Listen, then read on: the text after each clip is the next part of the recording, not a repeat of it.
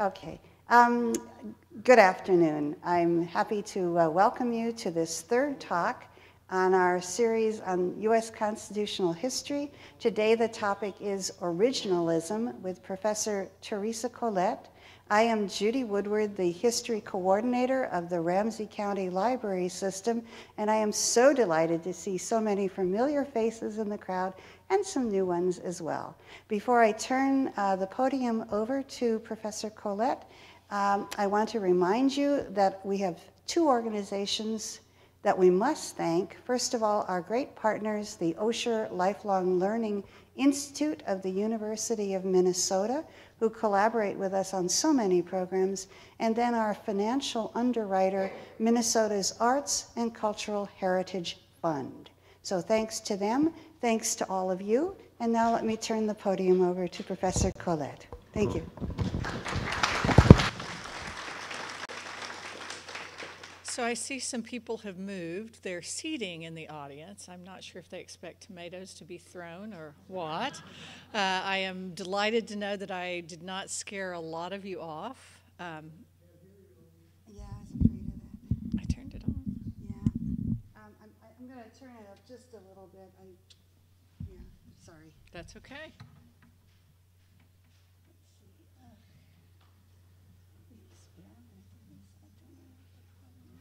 All right, try it again. So let me give one more plug for Mark Osler's presentation. Uh, Professor Osler uh, office is right next door to me. There are many things we disagree about, but the one thing we don't disagree about is he is a wonderful presenter. and he's got tons of great experience with the Clemency Project that he has uh, worked with. And he was very successful under the Obama administration, which might lead you to believe that he couldn't even access the White House now, but he was back from the White House, I think, just last month, where he was talking with White House officials about clemency under the federal system. So the pardon power he'll be absolutely superb on. So I, I cannot urge you enough to come. Um, so, but that's not the topic of today. Let's sort of finish moving. Well, let me, before I begin, how many of you had a chance to watch the Scalia Breyer debate? Excellent. All right. Was it worth it? Yeah, it's a, it's a really nice uh, conversation between the two justices and really explains sort of some of the conflict that we're going to see in the cases that we review today.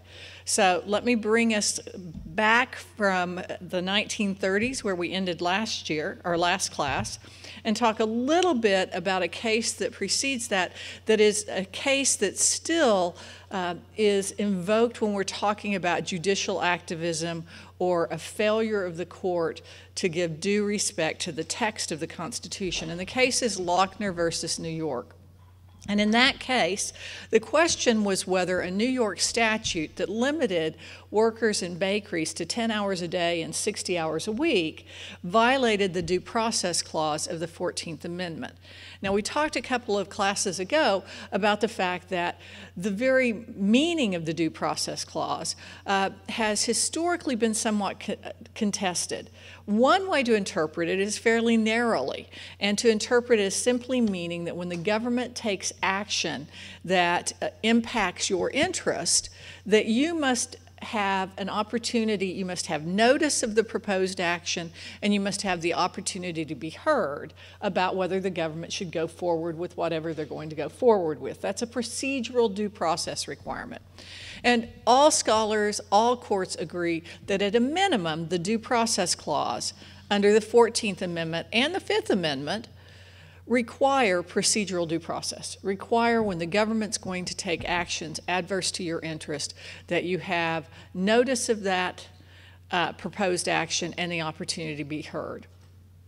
A broader interpretation, uh, which is which arises in Lochner as well, is the idea that, well, that process has some sort of content within it. We're looking to find out what sort of interests might you have that the government would have to give you notice of, an opportunity to be heard. And in this case, the claim by the bakery owner who had been convicted not once but twice of violating the New York statute and it was a criminal statute with a $25 fine for the first violation, was that uh, he had a right to enter into these employment contracts with his employees, with his bakers, free of any government interference, free of any government regulation. And the court said that the New York law maintaining uh, that, uh, that the New York law was not uh, within was within the freedom of contract, and thus the 14th Amendment right to liberty afforded the employer and the employee, sided with the employer and said, You're right. These sorts of government regulations interfere with the right to contract, to hire these people, and so it's invalid under the 14th Amendment. It held that the New York law, and here's the test they used the New York law failed the rational basis test for determining whether the government action is constitutional. Now, we'll learn that there are uh, a variety of tests that the courts use under both the Equal Protection Clause and under the Due Process Clause, but the least onerous for the government is when the court says, Does this statute at issue have a rational basis? What, what is the state interest that the, the statute is designed to serve, and is that rational? Okay, that's the lowest possible standard. And the court has even goes, gone so far in some cases that when the government can't offer a rational basis, the court will offer one in order to uphold the statute. Now, the reason for that, of course, is that the court is not supposed to be, even under Justice Breyer's view, a super legislature. They are supposed to have a distinct function in our government system, and it's not legislating from the bench. Nobody thinks that's the proper function. Okay. And so this rational basis is when the court looks at a statute to see if it's constitutional, they'll say, well, what are the state interests that this statute is aimed to protect? And is it rational to believe that this statute will advance that interest? The majority reasoned in this case that the Bake Shop Act had no rational basis because long working hours did not dramatically undermine the health of the employees and baking's not particularly dangerous. It's not like dynamiting so the railroads can go through. Okay. Uh, Justice Harlan, however, dissented, and he argued that the party challenging the law should have the burden of proving that the test was not met rather than requiring the government to prove that the law had a rational basis. And that's part of this idea then that the court will offer a rational basis as well.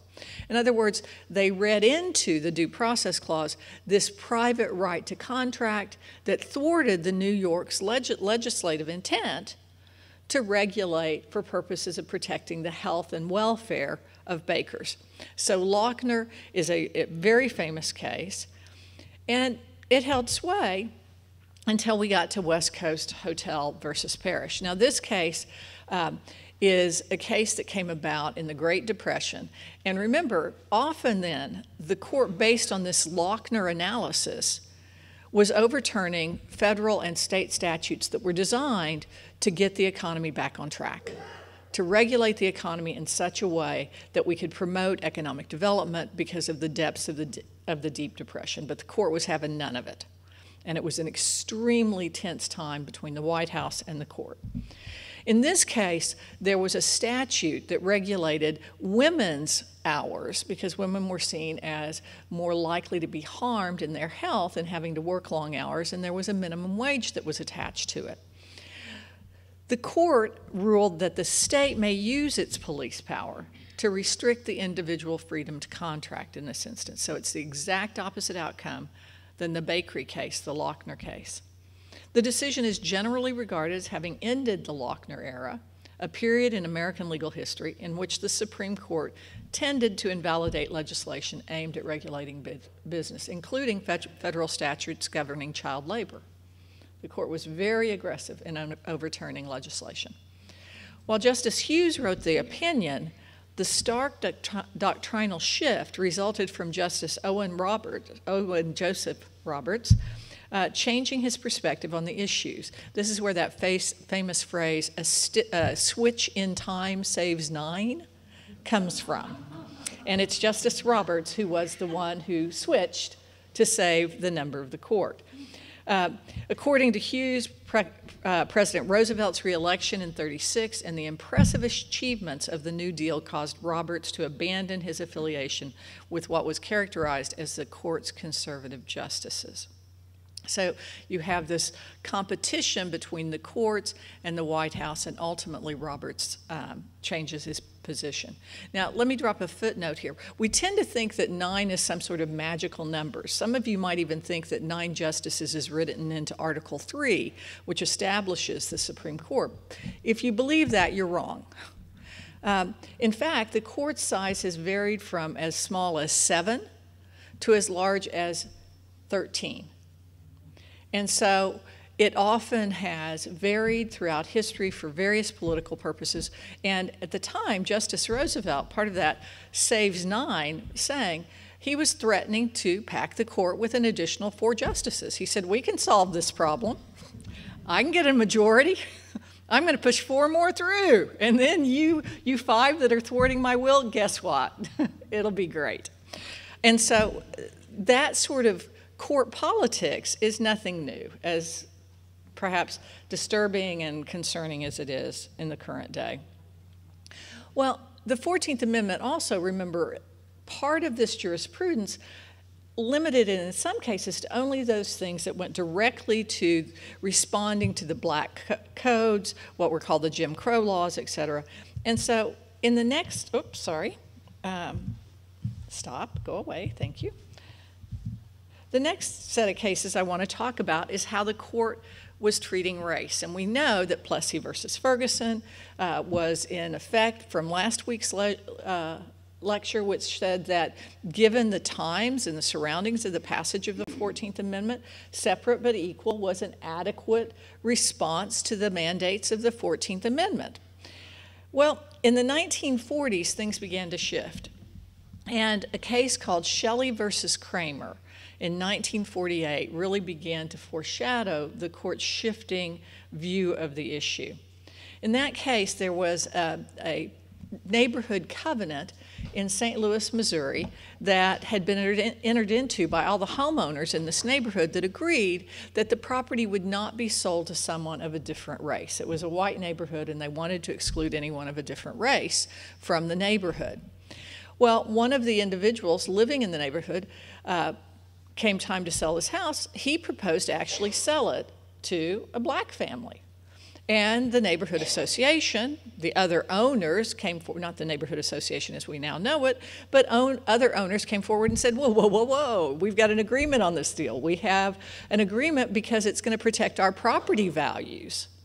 And so we've got a legitimate interest in what you do with your property. Now, that may sound outrageous, but how would you, and I'm not equating the two, but the idea that neighbors have some interest in what you do with your property is perhaps best illustrated by the guy that leaves the, you know, the broken down cars in his front yard. There's no doubt it impacts, okay? And so the question is would the introduction of a black family in this case affect the value of the property? But the court didn't look at the question from that perspective. The court looked at the, at the question from the perspective as can the court enforced this private agreement. Now, remember from the last two classes, we've talked about the Constitution is not a limitation on private action. It is only a limitation on state action, except for the 13th Amendment. That's the only time it impacts private action directly. Well, here the court said, in a unanimous opinion, that uh, standing alone, racially restrictive covenants did not violate the 14th Amendment. It was private action, just wasn't part of what we were regulating in the Constitution. Private parties may indeed abide by the terms of such a covenant, but they may not seek judicial enforcement of such a covenant, as that that, the action of the court in enforcing it, would be state action which would violate the 14th Amendment. Which would, so you can have whatever contract you want, and the Constitution has nothing to do with it. But if you have to enforce it through the courts, the court said in that case, now you've got a government actor that is enforcing it, and that would violate the 14th Amendment. Now, at one level, this would be a very powerful decision because essentially it would convert lots and lots of private action into state action. If the courts won't enforce our contracts, our labor agreements, a, variety of different private arrangements, then it essentially undermines that idea that the Constitution is about structuring and constraining the government, not about structuring and constraining private individuals. For that reason, if a lawyer is reduced to citing Shelley versus Kraemer, you can pretty much bet they're going to lose. This is one of the few times this ca- uh, the case came out this way, and I have actually been reduced to citing it in one case, and I knew what was going to happen. I lost. All right.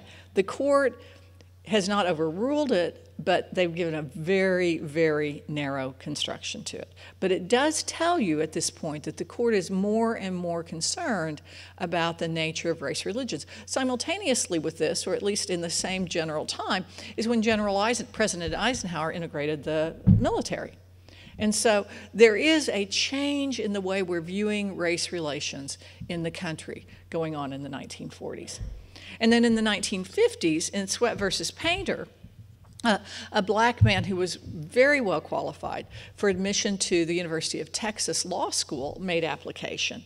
And the, univers- and the state of Texas had established a, a, black law school. So it wasn't that he would be precluded from getting a law degree, but he would have to go to the black law school. I believe it's Texas Southern University, which is still in existence in Houston, Texas. But the court, in looking at the nature of the University of Texas degree, its impact throughout the state, said that separate but equal in this case violated the Equal Protection Clause primarily because it simply wasn't equal. So they didn't overturn separate but equal. They just looked and said, I'm sorry, this new foundling little law school down in Houston, Texas, as opposed to the state university, the pride of Texas, that all the governors have come from, no, no, no, no. This is not the same thing. If he's qualified to go to the University of Texas, let him in. And so they did. In the same year, they looked at Oklahoma's practice. Oklahoma actually had a statute that outlawed educating multi, races in the same educational facility. They established segregation by law.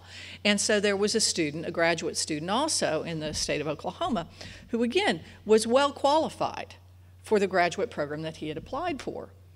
And Oklahoma understood that they probably needed him to go to the University of Oklahoma for this particular program because it was unique and, and that was where he could get the education he wanted.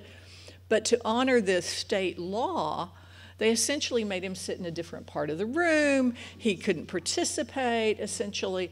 And so, in this case, again, the court said that um, the University of Oklahoma's admission of a black student, isolating him in class, did not did not satisfy the 14th Amendment. Okay, so we've got the beginnings. We're seeing that the court's moving more and more toward this.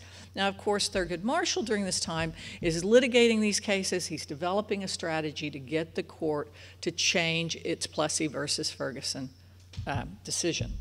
And so we come to Brown versus the Board of Education in 1954. Now, I suspect many of you all were alive at that time. I don't know if you all were in Minnesota at that time. I can tell you that the state I was in at that time, uh, well, I wasn't, I wasn't even a twinkle in my dad's eye, actually, in 54. Um, but after it, uh, I was born in 56, uh, the public schools in Oklahoma City were absolutely rife with violence. It was a really difficult time. Um, so in Brown versus the Board of Education, as I alluded to last class, there was really a split of opinion among black families because a number of them, given the Texas opinion, where they said, look, these schools aren't equal. you know, you have to allow them into the University of Texas because this alternative you're offering them just is not equal or the equivalent. There were a number of black families that really wanted that strategy pursued in Topeka, Kansas. Now, this was a consolidated case. There were multiple cases that were brought together in this. But there were a number of black families that said, look, we're not, we're not interested in integration. We're interested in qualified teachers, classrooms that are safe, textbooks that are up to date. all of the things that make good education possible. That's what we want. And if we can get that, like the man in Texas, we're content. We're content. Now, Marshall didn't agree with that strategy. And there were other families who didn't agree with that strategy, in part because they argued that we've had Plessy versus Ferguson. There have been attempts to equalize the schools. There's no political will to do so. You know, we may get some sort of lip service, but what we need to do is we need access to the white schools because of the resources they have, because of the tax base they have. And so we need to reverse Plessy versus Ferguson. Okay. But the but the people who were potential plaintiffs in this case were not of one mind. Okay. And so the court took up the issue, and the question before it was Does the segregation of public education based solely on race, notwithstanding providing facilities that are separate but equal, because they were trying to take it out of that Sweatt versus Painter case, okay, violate the Equal Protection Clause of the 14th Amendment? And the Supreme Court held that separate but equal facilities are by their nature inherently unequal and violate the protections of the Equal Protection Clause of the 14th Amendment. It reasoned that segregation of public education based on race instilled a sense of inferiority that had a hugely detrimental effect on education and the pers- personal growth of African American children. And Warren based much of his opinion on information from social science studies rather than court precedent. There wasn't much court precedent for him to rely on, given that the court precedent was directly against him. Um, but this is a, among legal scholars, the outcome is not controversial.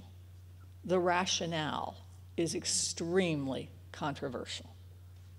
Because the opinion as you read it is largely a dissertation on social science, some of which was not even admitted at the trial court. And that's a problem because if social science or history, you saw the justices discussing the use of history, or philosophy, or any of these other disciplines are introduced, as they often are, through amicus briefs, there's no cross examination. I don't get to, I can file a, re, a response brief sometimes, depending on the sequence in which briefs are filed, but I don't get to cross examine the purported expert that holds this opinion. I don't sometimes even get to say, uh, that book was published in 1908 and hardly represents current thinking on the view, or this is a pure politicized statement. Uh, and we see those increasingly in the US Supreme Court. Amicus briefs that try to smuggle in evidence that's not subject to cross examination. And we see courts rely on it in many cases, which is unfortunate. So, Brown versus Board of Education, at least among legal scholars, is not, the outcome is not controversial, but the reasoning is extremely controversial. Eh, that's why, and you'll see on the final slide a list of books that I would recommend. There's a book by Jack Balkin, an edited edition, where he takes a number of prominent legal scholars and they attempt to write the decision that Brown versus Board of Education should have written. They attempt to find the law and they use the materials to actually talk about it from a legal perspective rather than a social science perspective. So that's 1954, and of course, as we all know, it led to huge conflict with its implementation, and not just in the South. Massachusetts had some pretty major riots too. It was a huge conflict throughout the country. And because of that, we saw the Cooper versus Aaron case, because a number of states tried to avoid the implication in that case, the court had said it must be done, the integration of schools must be done, quote, with all deliberate speed. Didn't give them a timetable, just said it must be done with all deliberate speed. Well, Arkansas decided that it would take at least two and a half years to get through that process, in part because you'd be redrawing school boundaries, in part because there, you may not have the resources allocated properly, et cetera. And so the governor and the legislature of Arkansas openly resisted um, the decision in Brown versus Board of Ed- Education. And in 1958, members of the school board, along with the superintendent of schools, filed suits urging suspension of the court ordered plan of desegregation in a unanimous, and the court worked very hard to make it a unanimous opinion. in a unanimous per curiam opinion, um, not signed by any ind- individual judge, although every judge was in agreement with it. The court held that Arkansas officials were bound by federal court orders to comply with the court's decision in Brown versus Board of Education. Those of you who were parents during that time know that courts were designing educational systems rather than uh, school superintendents in certain instances because the resistance was so grave. That in of itself is um, somewhat unremarkable. The court has given us an order Trial courts are going to implement it over the objection of local officials. But the court goes on and makes a statement that actually, as I've characterized it, is this a concept of judicial supremacy or is it a concept of supreme arrogance? The court held that since the supremacy clause of Article uh, 6 of the Constitution made the U.S. Constitution the supreme law of the land, and Marbury versus Madison made the Supreme Court the final interpreter of the Constitution. Recall Lincoln questioned that regarding Dred Scott, and there are still people who, who would argue that, that that may be the practice, but certainly there's no textual or historical basis prior to Marbury to take that position, and certainly even Marbury doesn't say they're ex- the exclusive interpreter of the Constitution. The precedent set forth in Brown versus the Board of Education was the supreme law of the land and was therefore binding on all the states regardless of how many state laws contradicting it. We are, in essence, the Constitution. What we say the Constitution means is what the Constitution means, regardless of the strength of opposition that is evidenced by existing legislation to the contrary. And the court has relied on this position multiple times in Harper versus the Virginia Department of Taxation, just to pick up that 15th Amendment that we talked about, the voting amendment. Um, the question here was whether a state, for purposes of state elections, could have a $1.50 poll tax. In order to vote, you had to pay a $1.50. Now, again, this is 1966, so it's not the $1.50 today. Um, and so there was some evidence that it was intended to be a deterrent, uh, particularly to black voters, but any voters that had limited financial means.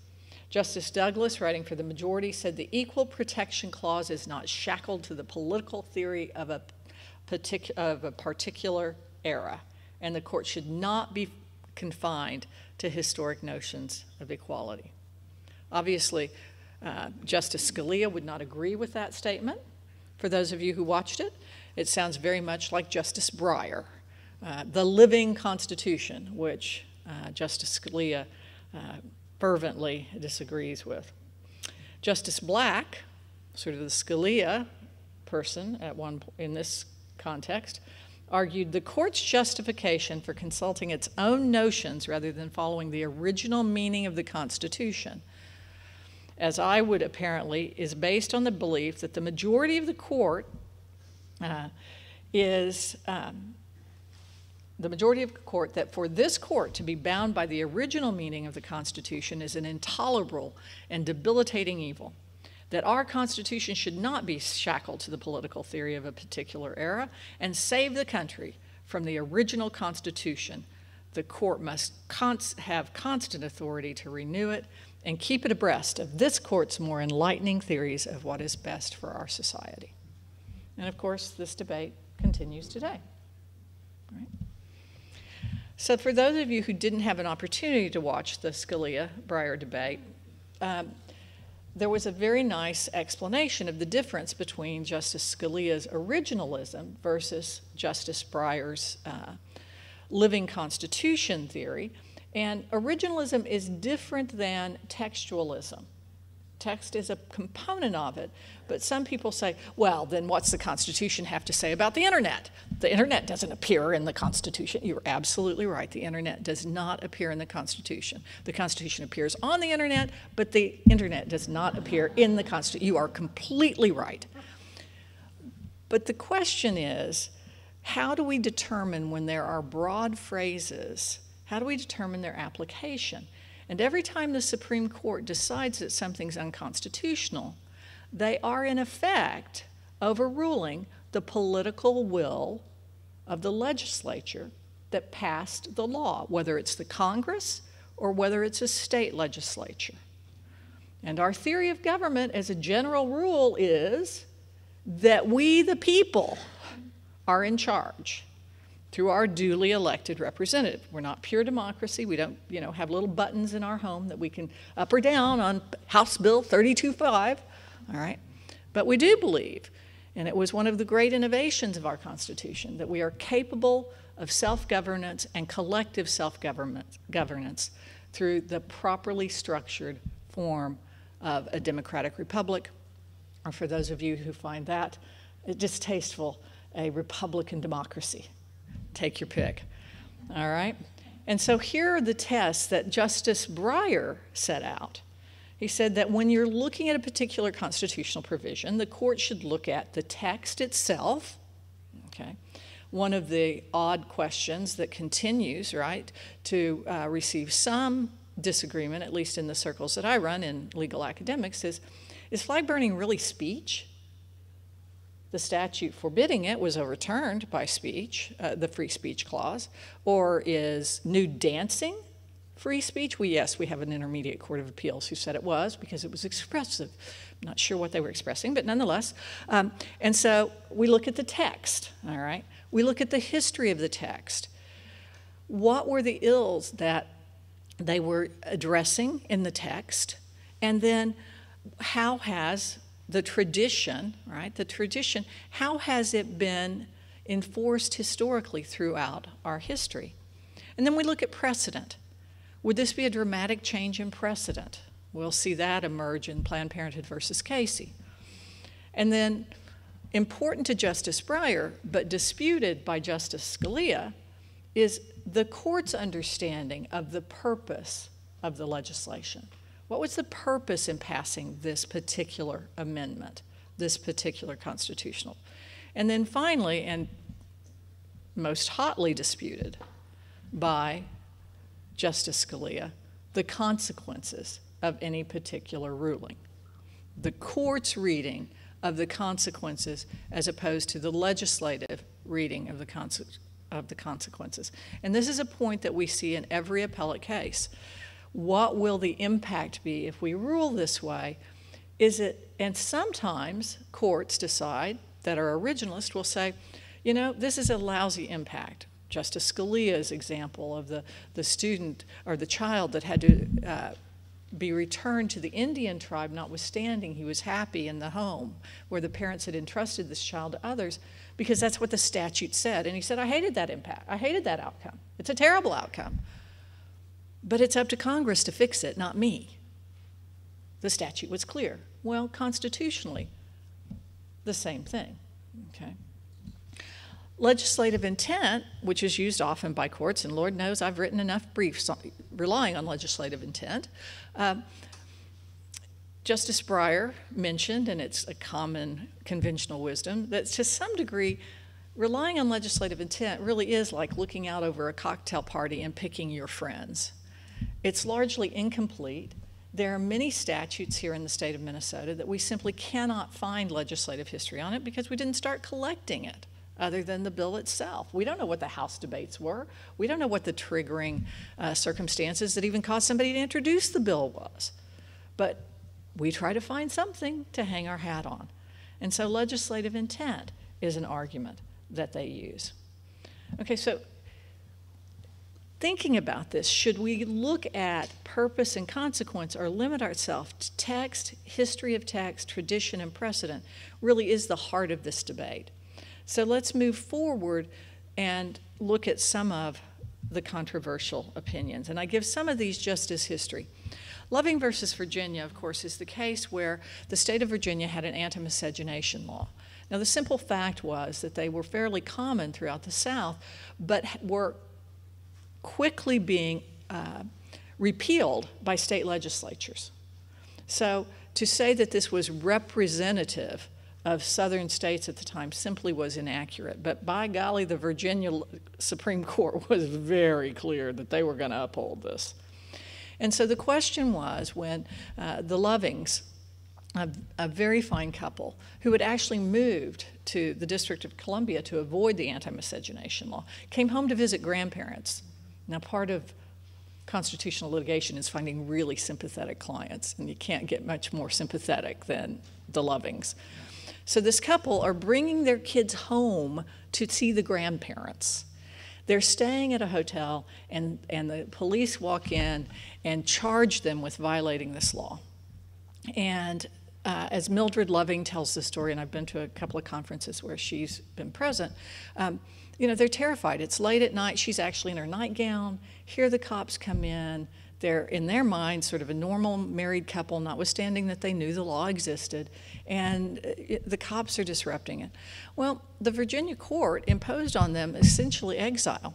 Don't ever come back in the state again, which means, of course, the grandparents either have to travel to see the grandkids or the grandkids will never see the grandparents. That's a pretty great story if you're going to litigate the case. I mean, this is a this is a good case. All right.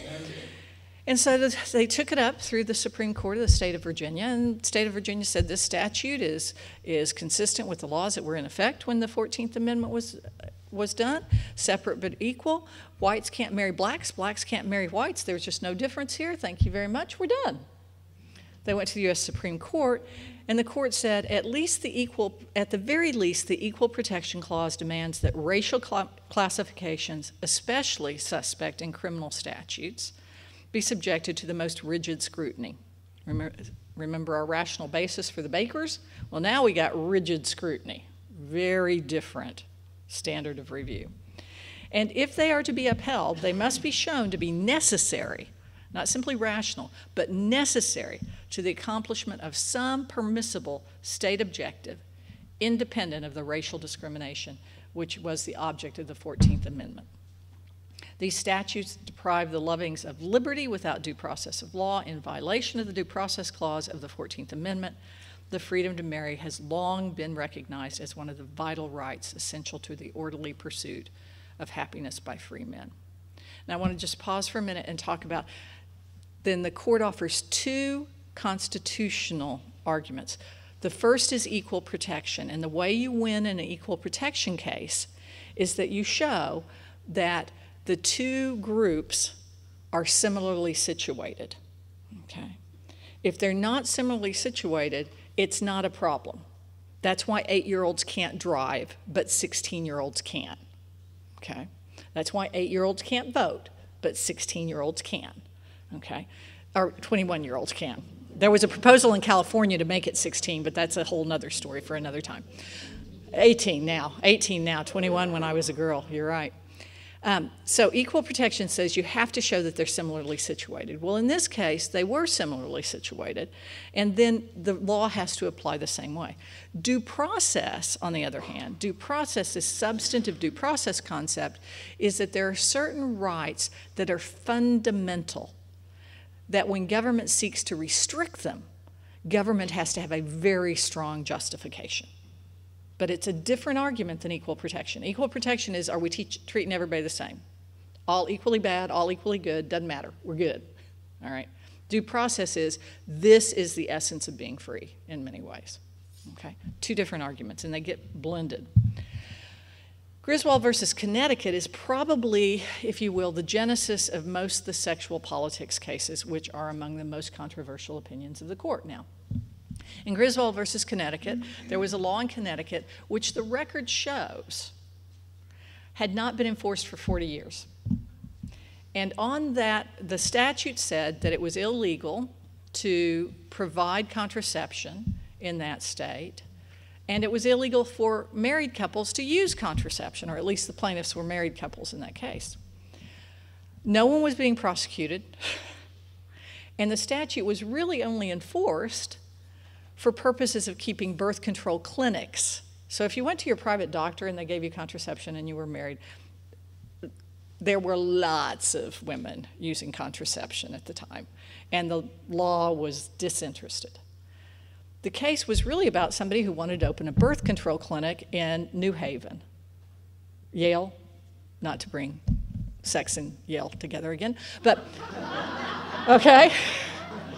So this was really about can they open a clinic? And the court could have, as it previously did just a few years earlier in a similar case, not on a Connecticut statute, but another statute, say, look, it's not even being enforced. You don't even have a real plaintiff here. We're not, no, we're not going to answer this question. This is a pretend question, and, and we're not in the pretend business, okay? But they chose not to. And instead, they incorporated into constitutional doctrine this idea of a right to privacy. We deal with a right of privacy older than the Bill of Rights, older than our political parties, older than our school system. And then listen to the way they characterize marriage. Marriage is a coming together for better or worse, hopefully enduring and intimate to the degree of being sacred. It is an association that promotes a way of life, not causes, a harmony in living, not political faiths, a bilateral loyalty, not commercial or social projects. Yet it is an association for as noble a purpose as any involved in our prior decisions. And so the opinion turns on what they characterize as the intrusiveness of the statute into the marital bedroom, into the, sanctu- the if you will, the sanctuary of the married couple. And they strike it down. Okay? Well, just a few years later, they get the same case, only it's whether or not you can have a statute that prohibits the sale of contraception to single people. So, if the rationale of the first case is that there's something unique and special about married couples, in fact, in its most crude explanation, a marriage license is really a license to have sex at the time. Because we had adultery laws and we had fornication laws and we had bigamy laws. We still have the bigamy laws and we actually still have adultery laws on the books in at least 20 states.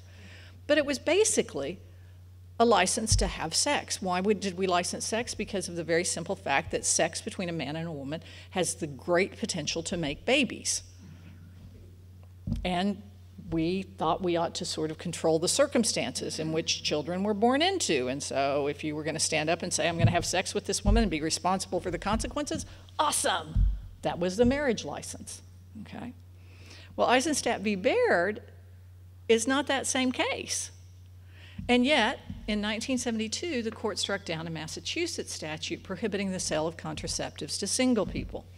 The court rejected the state's argument that the government had a strong interest in restricting use of contraception to married couples and opined that there's no constitutionally significant difference between married couples and single people for equal protection analysis.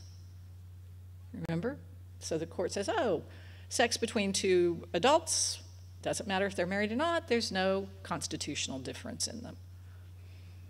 It offered a dramatically different understanding of marriage as, quote, not an independent entity with a heart and mind of its own, but an association of two individuals, each with a separate intellectual and emotional makeup. This is the beginning of what many of us consider sort of the radical individualism that we see coming through many court opinions. It's all about me. And there are no enduring unions that are separate and independent and have unique and special constitutional status. The court mocked those who defended the law as an aid to, yes, that old fashioned phrase, chastity, which is not celibacy. Celibacy is no sex, chastity is sex in the proper setting. Very different. Celibacy is what your 16 year old should engage in. Chastity as a married woman is what you should engage in. Um, it would be plainly unreasonable to assume that the state had prescribed pregnancy and the birth of an unwanted child for the physical and psychological dangers of an abortion, and they are signaling heavily that the next case coming down the pike as punishment for fornication. So we uh, the pill was authorized for sale by the FDA in the mid 60s, and by 1972, they've struck down uh, both restrictions on its sale. Then we get to Roe versus Wade, and I'm acutely aware that many people believe that the current uh, battle, confirmation battle, is about uh, primarily the continuing, uh, the continuance of Roe versus Wade. Uh, not all people believe that, uh, but a number of people believe that that is the case. There was an op-ed to that effect today in the Wall Street Journal. Roe versus Wade came out of the state of Texas. We know now that Norma McCorvey, who was Jane Roe, uh, was not raped, as her lawyers asserted. At the time, the state of Texas statute did not have a rape exception. It did have a life of the mother exception. Uh, and we also know that she already had a child um, and that the case was brought to the court on the argument that the state's statute that restricted abortion uh, violated this privacy right that was first articulated in Griswold versus Connecticut. So, what a long way we've come from contraception to abortion in a very short period of time. Um, the court, and I tell my students in class when I teach this case, uh, I would flunk any student who used this constitutional analysis, and it's not just because, and I will be very clear, I disagree with the opinion, um, but the court was unable to identify the text from which this right to privacy emerged in the context of abortion. The court said, and I'm quoting the opinion this right of privacy, whether it be founded in the 14th Amendment concept of personal liberty, and restrictions on state action. That's that due process clause, right? Or, as we feel it is, or as the district court determined in the Ninth Amendment, reservation of the rights uh, to the people is broad enough to encompass a woman's decision whether or not to terminate her pregnancy.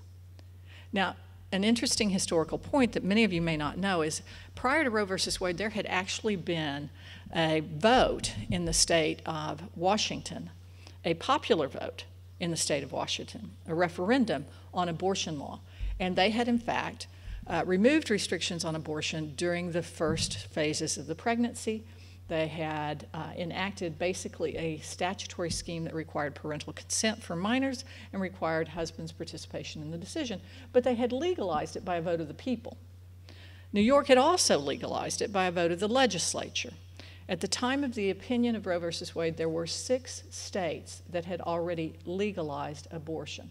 It was a raging political battle in the states, but it was not as if the court's intervention was promulgated on the absence of any sort of political movement on this, in this area. There was, in fact, substantial political movement in this area. So they rule that the right to abortion exists. They rule, uh, the court, state of Texas argues that in fact uh, abortion is illegal in part to protect the life of the unborn child. And the court takes the position that that is specious and that, uh, in its words, as philosophers and theologians and others cannot agree on when personhood, a constitutional concept, uh, begins, it is not of sufficient uh, weight to overcome this putative privacy right. The court also characterizes it as disingenuous on the part of the state of Texas, saying that if in fact it was about protecting the life of an unborn child, why would they allow an abortion uh, in the context of the life of the mother? And I think the answer to that question is because when you have two innocent citizens, who, one of whom is going to die, it's a perfectly reasonable political choice for the state to stay out of that decision it won't pick between innocent citizens, which is the way I justify uh, the viability uh, part of Roe versus Wade, where the court says that after the pregnancy proceeds to the time of viability, then in fact a state can largely prohibit it subject to the health of the mother. The same argument would apply. When a woman can uh, be uh, freed of an unwanted pregnancy through giving birth as opposed to having an abortion, ending that potential human life, as the court characterizes it, the court recognizes the state's ability to say, then you have to choose giving birth because we can respect both the rights of this potential human being as well as the rights of the woman at that instance. Interestingly, the viability rule was not briefed before the court. There was no briefing on that question at all when the court issued its opinion. The same day the court issued, and this is why many of, the, many of us who believe that this um, constitutional interpretation is incorrect, say that abortion is constitutionally protected throughout the entire nine months. Uh, in Doe versus Bolton, it was the interpretation of a, a statute, I believe out of Georgia, uh, and the question was Was the two doctor consent requirement to have an abortion in a hospital constitutional? And it said that the doctors must make this determination based on the health of the woman.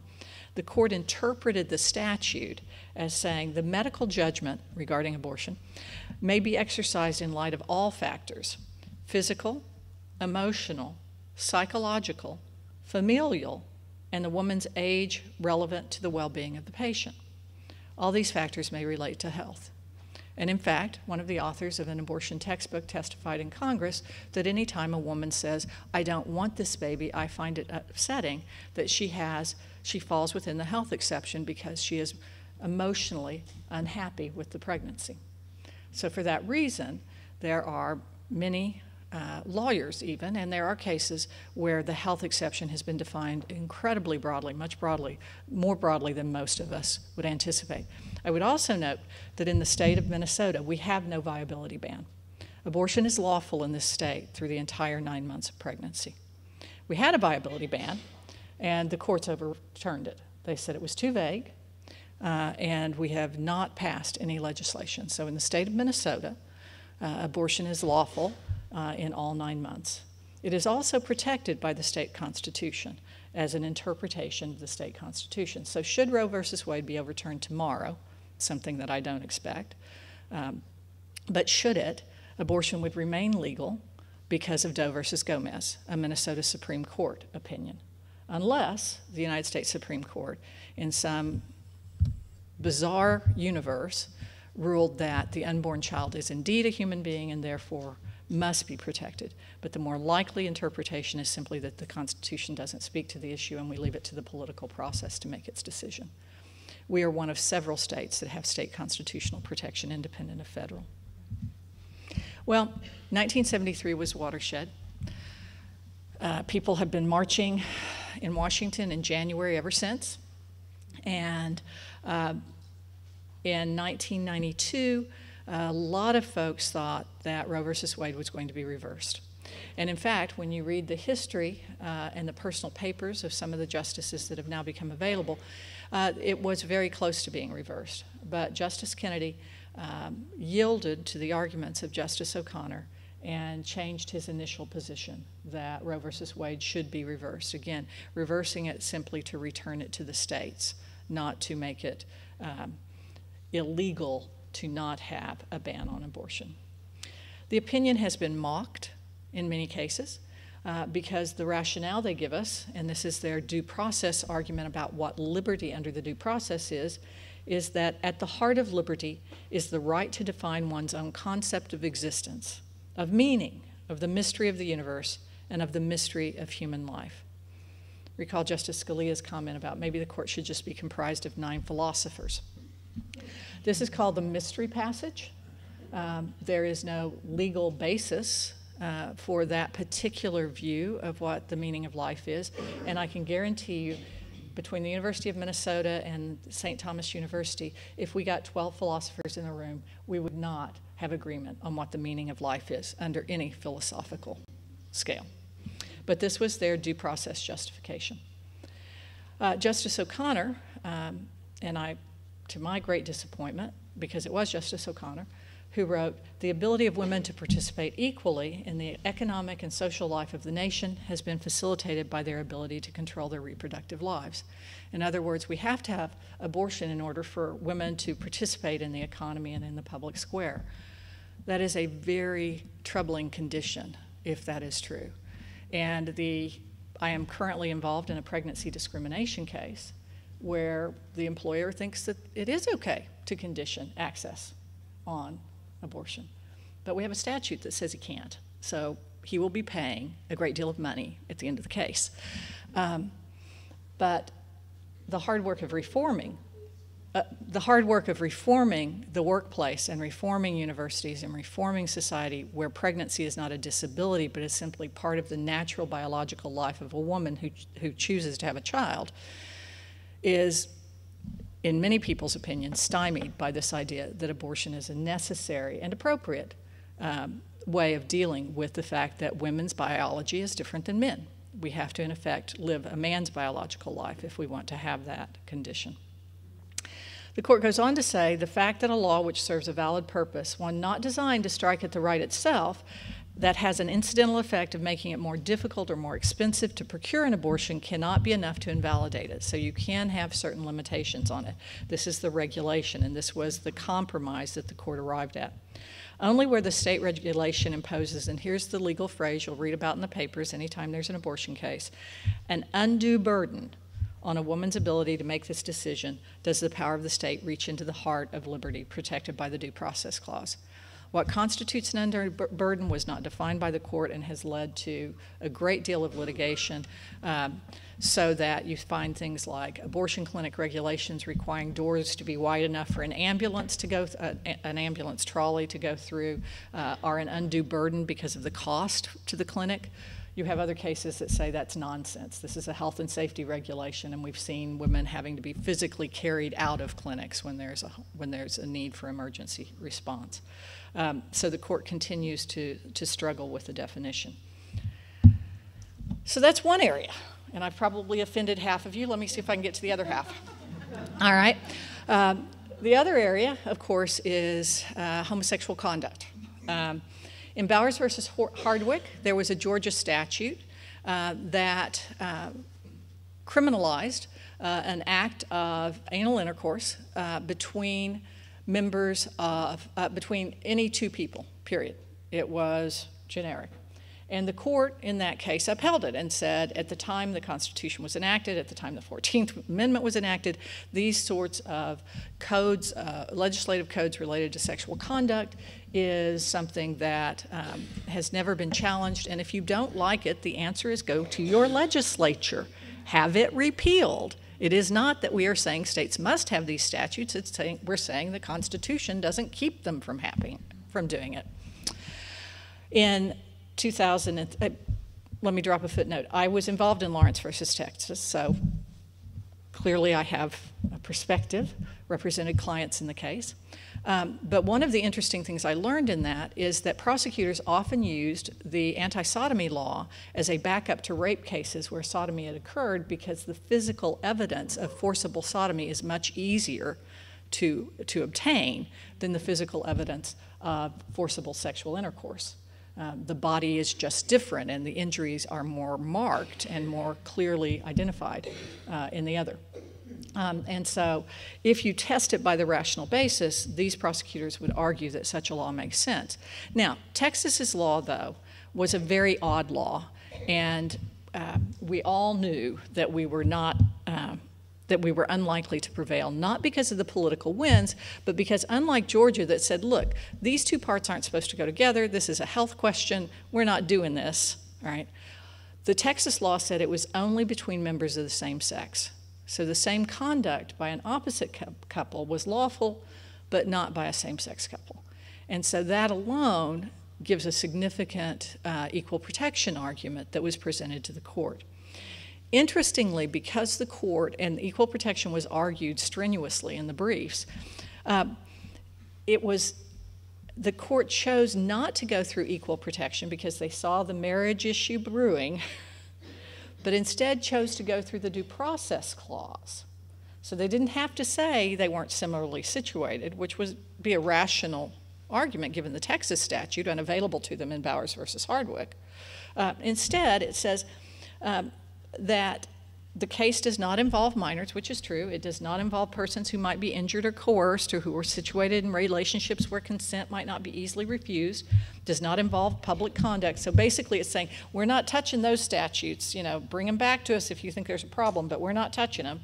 Does not involve that the government must give formal recognition, that's the marriage, to any relationship that homosexual persons seek to enter. The consent uh, this case does involve two adults who, with full and mutual consent from each other, engaged in sexual practices common to a homosexual lifestyle. The petitioners are entitled to respect of their private lives. We're going back to Griswold. The state cannot demean their existence or control their destiny by making their private sexual conduct a crime. Their right to liberty under the Due Process Clause gives them a full right to engage in the conduct without intervention. Not an equal protection case, a due process case. So now the liberty phrase in the Constitution has been interpreted to uh, mean this private sexual conduct between two consenting adults. All right. So the in contrast, just to put these cases in contrast, let's talk for just a minute about the suicide case. Washington versus uh, Glucksberg was a companion case to Vacco versus Quill. And these were challenges to the New York statute and the Washington statute that prohibited assisting with suicide. Now, this was also the time when Dr. Kevorkian, many of you may remember that name, Dr. Kevorkian was plying his trade throughout the country. Um, and there were multiple trials of Dr. Kevorkian, and they ultimately, when Dr. Kevorkian um, taunted and demanded that the prosecutor charge him only with murder, um, they ultimately won because juries tended to be sympathetic enough to him that they would not have convicted him of murder, but rather would have given uh, voluntary manslaughter. But he had argued in front of the judge, pro se, um, that by golly, if they believe it's murder, they ought to say it's murder. And so he went to prison. These laws were under attack in 1997. And the statutes were defended on the part of the government by saying that uh, the state has an interest in preserving human life, they have an interest in preventing suicide, which is a public health problem right now, especially among elderly men. Uh, avoiding the influence of third parties, use of arbitrary, uh, unfair, or undue influence. Our nurse case here in Minnesota, where the nurse was encouraging people to kill themselves. Protecting family members and loved ones. Often courts particularly look at whether they're small children that still are being raised in the family protecting the integrity of the medical profession, and avoiding future uh, movement toward euthanasia or other abuses. The American Medical Association actually briefed on the side of Washington and the side of New York in these cases, in contrast to the, the fact that they brief against the states in the abortion cases. So one of the things that is an interesting way to look at these, these cases is when you've got the AMA, you're probably going to win. When you don't have the AMA, you're probably going to lose. The court then found that throughout the nation, Americans are engaged in an earnest and profound debate about the morality, legality, and practicality of physician suicide. Uh, our holding permits this debate to continue as it should in a democratic society. They left it to the legislatures. They said this is not a constitutional issue. We are not going to constitutionalize it. Uh, couple more, one more area, affirmative action. Um, many of you may remember the Bakke case in 1978. This was a medical school out of California uh, that uh, had a racial set aside, 16 seats out of 100 seats for certain minority groups.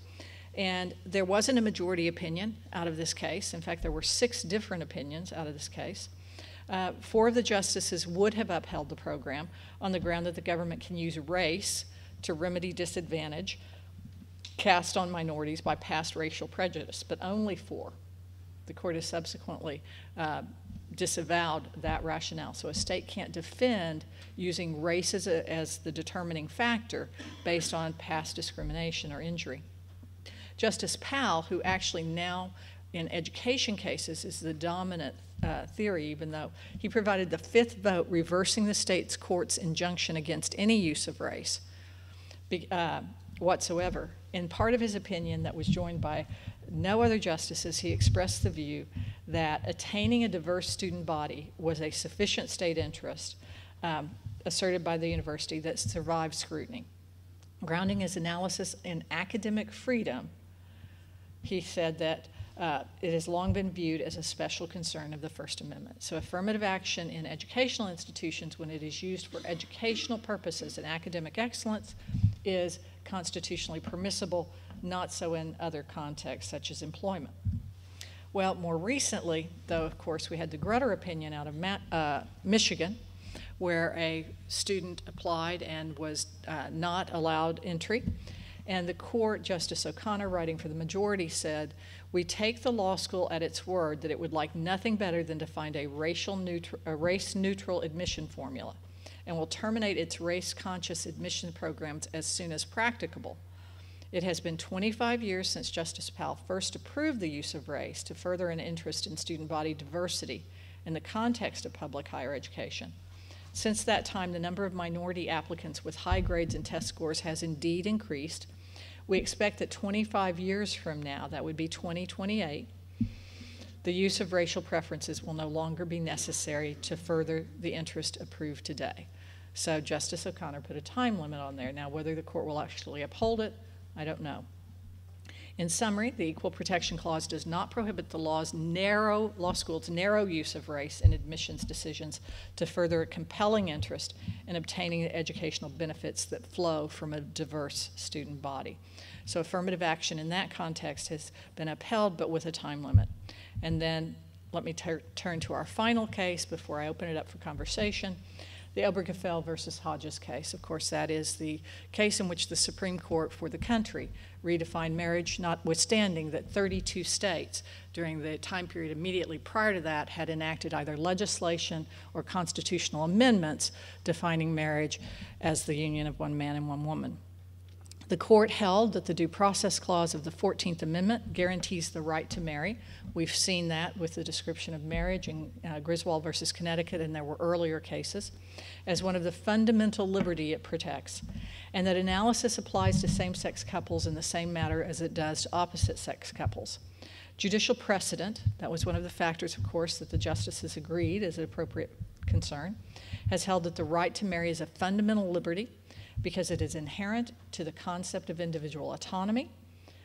It protects the most intimate association between two people. It safeguards children and families by according legal recognition to building a home and raising children, and it has historically been recognized as the keystone of the social order. Because there are no differences, equal protection analysis, because there is no difference between a same sex union and an opposite sex union with respect to these principles the exclusion of same sex couples from the right to marry violates the Due Process Clause of the 14th Amendment. The Equal Protection Clause of the 14th Amendment also guarantees the right of same sex couples to marry, as a denial of the right would deny same sex couples under the protection of the law. Again, I want to stress in Minnesota, we are the only state in the Union, but we had a vigorous and full public debate on this issue. And proponents of the constitutional amendment lost and opponents of the constitutional amendment won and enacted a legislatively enacted definition of marriage that encompassed any other two consenting adults who are legally available to marry. All right, no threesomes, just twosomes. This opinion imposed that same choice on legislatures and states where the people had had a similar debate but come to a different conclusion based on its interpretation of due process and equal protection. Masterpiece Cake, of course, was just last session. You all are familiar with the Baker case. I won't spend much time on it, but the question is if people who continue to hold sincere, and in that case, religious beliefs that marriage has a particular content, that being the union of one man and one woman, because they are participating in the commercial life of this country, because they are supporting themselves through earning money in a public area, can they be forced to act in a different way? And the court said no, not in that instance. We have our own Minnesota case uh, going through the courts right now with videographers, and we will see how the courts deal with the case. But these are ongoing controversies. And then the slide I will leave up is a set of recommended books um, that can perhaps be sent to those that have emails. That uh, Judith has your emails, but I would point out in particular the two that I think you'll find the most interesting because it's sort of like the video in that you're going to get both sides and the best arguments on both sides are the two Jack Balkin books. Uh, what Brown versus Board of Education should have said, the nation's top legal experts rewrite America's landmark civil rights decision, and what Roe versus Wade should have said, the nation's top legal experts rewrite, rewrite America's most controversial decision. Um, again, I should uh, admit that I am uh, one of the authors. I have a, a, dissenting opinion in that case that recites the history of women's involvement in the political and commercial life of this country. Um, the other books, Justice Accused, I mentioned the first uh, class. It's a wonderful book about how uh, men of goodwill and men who were abolitionists could continue to sit on the benches at the time that we had the uh, slavery uh, laws that required a return of a slave to their owner. And then the other book I mentioned, the first class, that I think is a very readable, very entertaining, uh, but very uh, learned book. Uh, Mike Paulsen, he also is a colleague of mine, The Constitution and Introduction. So the, uh, founding fathers, Akhil Amar, as well as Andrew, Andrew, Alexander Bickel. Those of you who are particularly interested in judicial activism, Alexander uh, Bickel's book is a bit dense, but it's really good, and it's cited by the Supreme Court regularly, so it's worth reading if you want to. It, it's dense, it's not bedtime reading. Um, the Constitution you can read as a bedtime book. This one, you got to have your cup of coffee and start early. So. Okay, so let's open it up because I've made a lot of controversial comments. I've shared a lot of controversial views. Let it begin. okay, and I will bring around the microphone, but I also wanted to say uh, anyone who's thinking of you know, madly scrolling down, scribbling down these titles, I'll just send out an email with this slide to everybody. So don't worry about it. Who has a question? Who has the first question? And I'm going to ask people, when you have a question, hold the mic down. For some reason, it's, it's up further than it should be, I guess. So don't bring it up to your mouth. And I think we'll all be able to hear. Got it? Thank you. You, you mentioned uh, federal uh, um, originalism and living constitution. Are there other active uh, theories of constitutional interpretation? There are other theories in the academic literature, but not actively on the Supreme Court. Uh, but there's different application, right? I mean, as you, if, if you saw the debate, Justice Scalia said, sure, sometimes the purpose is clear.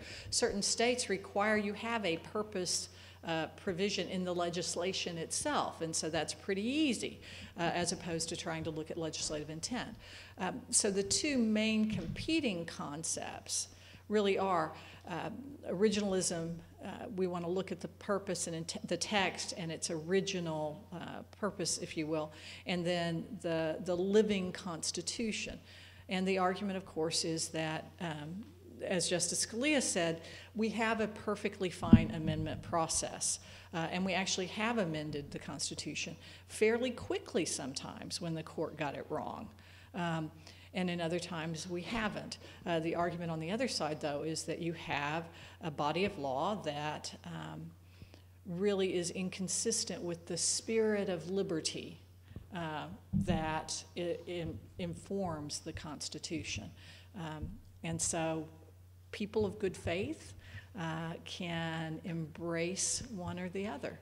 Uh, I will say that. Um, Judith knew that I was an originalist, um, and I appreciate um, having the opportunity to present that viewpoint. Uh, it's not always true in lots of forums. This lady has a question, and do hold the mic down. So you said in loving in here, here, here, okay. So you said in Loving and in the case, the Texas case about Lawrence versus Texas. homosexual relations, in both cases, they were about the Supreme Court saying a behavior that was okay, due pro- the due process.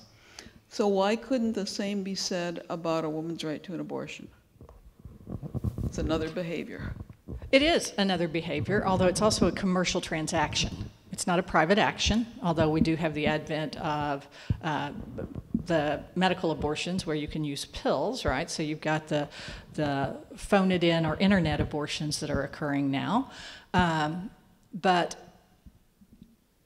I think the question is does the court get to put the question of what was what that is within the woman? Is it a human being or not? And what I didn't put in this presentation, um, the Eighth Circuit, in an en banc opinion, meaning all the judges of the Eighth Circuit sat on this one. This is, isn't a three judge panel, this is all the judges. We, are, we sit in the Eighth Circuit, we live in the Eighth Circuit. The Eighth Circuit had before it a South Dakota statute that specifically said, it's the Rounds versus Planned Parenthood opinion, uh, that specifically said that an abortion provider must inform a woman that abortion terminates the life of a separate, unique human being and it had a definition of human being, a scientific definition of human being. And Planned Parenthood sued, saying that it was false and misleading, and that uh, the state cannot require professionals to make false and misleading statements, which is true. That's a correct constitutional principle, thank goodness. Um, and that even if it weren't false and misleading, that the abortion providers ought not be required to say something that they disagree with.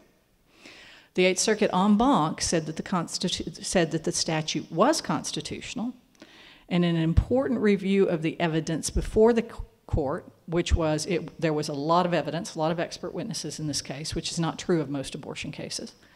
In that particular case, the court said that Planned Parenthood could present no evidence that the that which is within the woman, they didn't use that phrase, but was not a human being. All of the evidence on the record proved that it was a human being as scientifically, discuss, as scientifically defined. And if you look at the embryology text, if you look at a number of medical texts, that's not in dispute. The dispute is whether it's a person entitled to constitutional protection.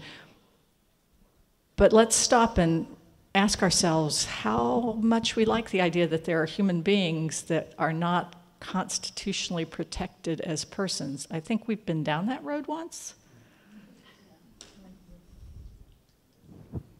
I understand you don't agree.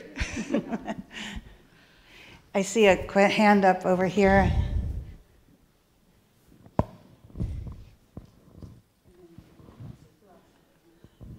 Well, this is a follow up to the same glamorous topic. And um, I've uh, served as a volunteer lobbyist. Um, and uh, Minnesota has had some pretty crazy laws proposed, whereas women could not cross a state border to get an abortion. It didn't pass, but I, when I would just go and meet with the legislators, I'd go, well, how do you implement that? And what exam does every woman need? And what passport do they need to get across a state border to come back? Um, anytime a, a, law is looked at or an interpretation, I always think, what is the practical implication and um, how is that how is that implemented?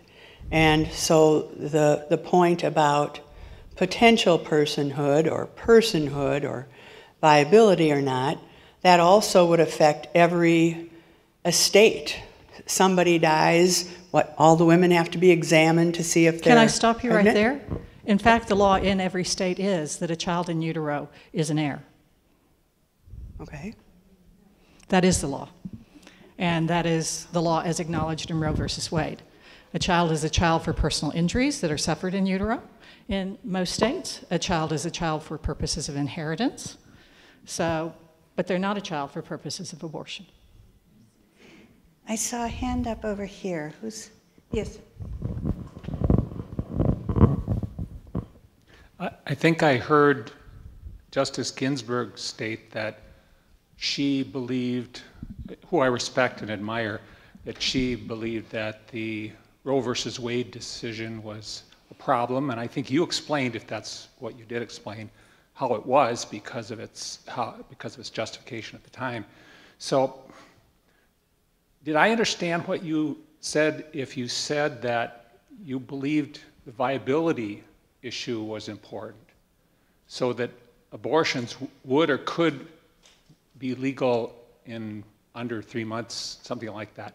And then the next question is probably the bigger one: is um, do you think the appointment of Kavanaugh to the Supreme Court jeopardizes the Roe versus Wade decision? Let me take them in reverse order. Okay. My answer to the second is sadly no. I don't. Um, and I, I don't think, I, I, will be surprised if Roberts would vote to reverse Roe versus Wade. Um, so I think that both sides are highly emotional over something that, if it happens, is not going to happen quickly. And I think they both misrepresent the consequences of if it happens. Because as I said, Roe versus Wade could be reversed tomorrow, and we've still got Doe versus Gomez. It's just going to move the fight to the states. California has a Doe versus Gomez. Florida has a Doe versus Gomez. Uh, there are multiple states. As I said, Washington did it through a referendum. Okay? Lots of states. It's not going to automatically reinstate the pre existing prohibitions on abortion. In fact, we have a 10th Circuit opinion to that case because Norma McCorvey actually tried to reverse Roe versus Wade, the woman who was Roe, all right? And we have a 10th Circuit opinion to that case. It's desuetude. Desuetude is a legal term for when statutes haven't been enforced for so long. You know, you can't you can't tie your horse up to the main to the lights in on Main Street. Well, guess what? If you tried to enforce it today, we'd have a problem. Okay, so I think the pro-life side suggests that we're going to have this wave of protection for the unborn. And I think the pro choice side pr- suggests the handmaiden's tale is going to become reality in every state in the union the Handmaid's Tale is not going to become reality in any state in the Union, and we're not going to have a wave of pro life legislation. We'll have some. We will probably have parental consent laws in the vast majority of states. We will probably have, we may even have husband consent laws with exceptions in some states. We may have, as you suggest, gestational limits like all the European countries have, which says that after a certain point in time, you can't have an abortion unless you have a threat to the health, meaning a substantial impairment of a woman's physical uh, condition. We may have, uh, we may outlaw the internet abortions, which is a little scary given the hemorrhaging that can occur with no doctor present. We may have any number of sorts of regulatory, and yes, there'll be a few states that abortion will be largely illegal. But neither side is going to, by reversal of Roe, have a massive defeat or massive victory. And that's just based on state law. Unless they all decide it's a human person, which I don't think they will. Well, and then, it- oh, I'm sorry, your me, other sorry. Sure, question. what your belief was about three months. The viability. The, uh, the viability part of the, among scholars who study this on both sides, which is why Jack Balkin did the book, uh, What Roe versus Wade Should Have Said, the fact that viability wasn't even proposed to the court and the court just out of its own set a new rule, and they actually went to, uh, it was actually written at Mayo, Mayo's library up here. The opinion was actually written up here. Um, so nobody's comfortable with the Supreme Court suddenly picking a new theory that nobody's briefed, nobody's had an opportunity to put evidence in. That's just not the way it should work. Um, but sometimes it's attacked, well, viability is just arbitrary and ridiculous. I don't think it's arbitrary and ridiculous. I do understand the argument that we believe that this potential human life, I think it's human life, not just potential, but we, we're troubled by this competition of rights, the clash of absolutes.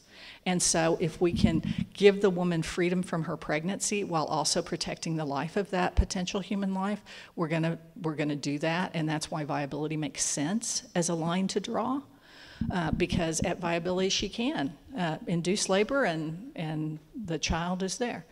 One of the questions I ask my students regularly is the right to abortion a right to be free of an unwanted pregnancy, or is it the right to kill? And when you look at the frozen embryo cases, the embryo cases to a, without exception, at the highest level, there are some trial court opinions to the contrary, but at the highest level, have always felt that the, have always held that the person who did not want continuation of the development of those embryos wins. Okay. Larry Tribe discussed this. Larry Tribe is on the opposite side of this issue from me, constitutional law professor from Harvard. But he said if we ever develop an artificial womb where the embryo or fetus can be removed by an in office uh, procedure with very little risk to the woman, we'll have to rethink the right to abortion. Because if the father wants the child to continue in development in that artificial womb, does the woman have the right to say, no, I want it killed instead? Is it a right to kill? or is it a right to be free of an unwanted pregnancy? Those are two very, very different things. Another question? Okay, I see over here. I really appreciate the faces are, I'm sure I'm making people uncomfortable, but everybody's being so respectful, and I really do. You all aren't a college campus. Yay! I'm not sure quite how to phrase this. I have two concerns about overturning or limiting Roe v. Wade. One, I, and I'm certainly no lawyer, um, I wonder whether the rights of poor women and the rights of women in states where extreme limits are placed on things, the distance between clinics that have rights and so forth, whether that violates the equal protection of those women. And the second element is if I accept the idea that before viability that I have, or if I accept right down to conception, that I have two human beings, why is it that the child's right to life, which is totally dependent on the mother's physiology, why is that supposed to take precedence over the mother's desires? So you've asked multiple questions, so let me try to remember them all and, and answer them.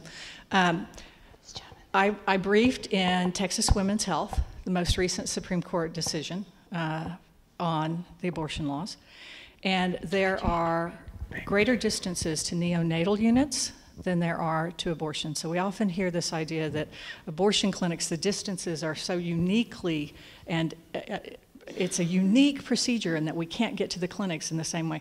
There are plenty of medical services that have large geographic dis distances that are available to them. So that what they're what they're doing is they're cherry picking which medical procedures. They're saying that um, an abortion clinic is more important even than a neonatal unit for a child that's born prematurely. I, I don't share that. I think distribution of medical services. The other thing that we discovered in uh, Texas in particular is that uh, the Texas Women's Health, uh, part of their concern was because Planned Parenthood was consolidating their services, and Planned Parenthood was closing clinics not because of the law, but because they were they wanted to have different standards, and so they built a facility like the one we have in St. Paul that is large, has multiple doctors, multiple beds. It was a better commercial or financial approach. There's simply not the population to support it in these other areas. And so it was a business decision. And there's a lot of evidence in the various briefs to, to show that. So, so distribution of clinics, I think if we're going to do that, then let's look at all the distributions. We've got rural hospitals closing regularly too. So that's just a function of the market to some degree. Um, the question about poor women would suggest that um, women's lives are so um, it, number one, it would suggest adoption is not a, a, realistic or available option, which is, is not true in any state in the Union. Uh, placing a child for adoption is a legally available option, and in fact, part of the reason we have a large foreign adoption uh, practice in this country is because children are not available in infancy to parents who want to adopt, and the waiting lists are long, and it costs about 20 grand to adopt unless you're adopting out of the foster care system or other sort of situations. So, so the fact that a woman beyond the nine months must be burdened with the raising of this child, I think again is an assumption that I don't share. Uh, I, she has other options beyond that. And then finally, I would argue that um, the fact that women have this unique situation uh, of being capable of pregnancy um, is, in the vast majority of cases, um, arises by virtue of voluntary conduct. Um, even the other, even Planned Parenthood and Guttmacher, which is their research institute, it was established by Planned Parenthood. It's now been spun off and it's a separate independent organization, but nonetheless, that is their orientation. Uh, the most generous number we can give of pregnancies arising from non voluntary sex would be 5%. So, what we're saying is that women should be free to engage in voluntary acts and that they know with certainty that some percentage are going to result in a pregnancy. And yet, because they've engaged in that voluntary act, the child they've created, they have no responsibility to even for that short period of time. We don't typically use that reasoning in other circumstances. We don't say that when we have involuntary, where we have voluntarily created circumstances, we get to kill people or other human beings to get out of it. We don't even say that we, you know, get to um, abandon certain responsibilities. Men, for example. don't get to. Um, couple of cases that might lighten the mood, although they're weird uh, in this room. Um, there is a California case where a man had both of his parents in the hospital. They were elderly. Uh, he was stressed. Uh, this was his defense. He was stressed. There was a nurse's aide who offered to help him relieve his stress in a linen closet orally. Um, and she had a uh, condom in her mouth and preserved his sperm and inseminated herself and then sued him for paternity. It was very weird. You're absolutely right. It's very weird. Um, but, but the way it relates to our conversation is the court found him liable. The court found him liable. Or there's the case out of Louisiana where the uh, young teen was being babysat by the 30 year old woman, and it constituted rape under the law. And when she bore a child by virtue of the sexual act, sued the young man and his family for paternity, and notwithstanding it was a crime, the court basically said, Well, I'm sure he enjoyed it, and yeah, you're liable for the next 18 years. So this child, all right, I don't really think of 13 year olds as children, but they're not adults by any long stretch of the imagination, now has child support payments that will accumulate. So we don't excuse men from the consequences of these voluntary acts, where women assert their right to that support. Lots don't. Um, I don't know why the law is so different for women. I can, I can make the argument. You want me to make the argument? the argument on the other side is the burdens that women experience during pregnancy are unique. And I completely understand that. You know, I was one of those, I like to think I was an aristocrat in some prior lineage, I know I was a farmhand because I can just be pregnant and drop them and go, right? Uh, but my daughters, on the other hand, they have 24 7 morning sickness for the first, you know, so I understand that. Um, but when we look at the statistics on abortion, uh, in the states that require reporting, which is always a political battle, um, very few of them indicate that they are done for the health of the mother and in Minnesota, we actually had litigation over that, and it's a, a minute number that are implicated by, the, by maintaining the health of the woman. I think we have time for just one more question. Yes, sir. I very much appreciate your um, rigor and um, thinking and sensitivity to some very provocative and painful and difficult subjects. Uh, what I want to ask you takes off on a slightly different track. Thank that, you.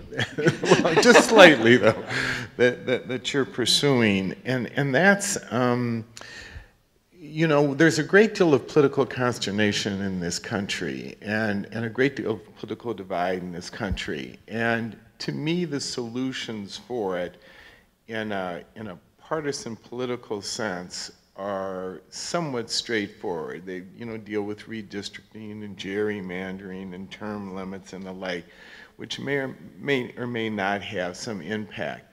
What I struggle with is how the issues that the court deals with can facilitate any type of healing. And it, it, one of the things that I was drawn to was the Marbury case that gave the court the authority to be the final arbitrator of constitutional questions.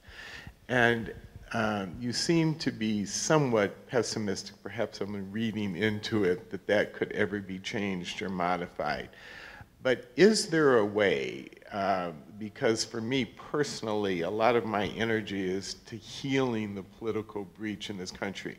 Though quite candidly, I tend to side with you and your position on many uh, of the issues that you've raised, but I'm even, I have a, what I consider a, a higher calling, which is to look at how we can kind of heal some of the political divide. And I, in my mind's eye, can see that with the executive branch and the legislative branch. I have more difficulty envisioning that with the courts. And I wonder if there is any way in which that can happen from your vantage point. So let me, I'm a trained moderator for the Better Angels Project. If you're not familiar with it, let me recommend you become familiar with it. uh, and Professor Doherty at the University of Minnesota. You're, you're, all right. I The a- library is involved with it, I am a of you who are huge fan of the Better Angels project where you take, and they identify you as, I am a red moderator. I also am trained to do just general moderation, but I am a red, and I'm going to make an assumption, but you may be a blue moderator. All right. But the purpose is to bring together groups of citizens that self identify as red and as blue and have really hard conversations in a safe environment. And I think that is a wonderful organization, and I would encourage you to look into it and invite Better Angels to come into your churches or your schools or whatever community organizations you have to have these conversations because they are extremely helpful.